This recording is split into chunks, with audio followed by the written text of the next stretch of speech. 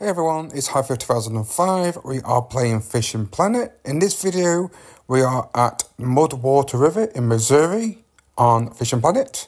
Um, I thought I'd just obviously do a voiceover on this clip because I didn't have my headset in.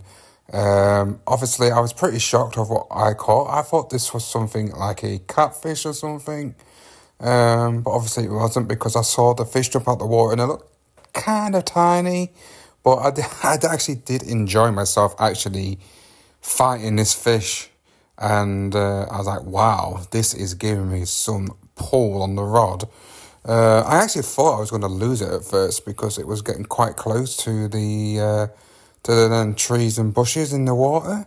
So I was lucky enough not to actually, uh, you know, get it to drag me all the way down there. Obviously, we've got some drag on the um, the reel, so it wasn't too bad. I didn't want to put it too high because if I put it too high, I might have snapped me. Um, I, well, I think I was using three pound line at the time when I was uh, using this rod. This is the beginner's rod, but I've upgraded since then.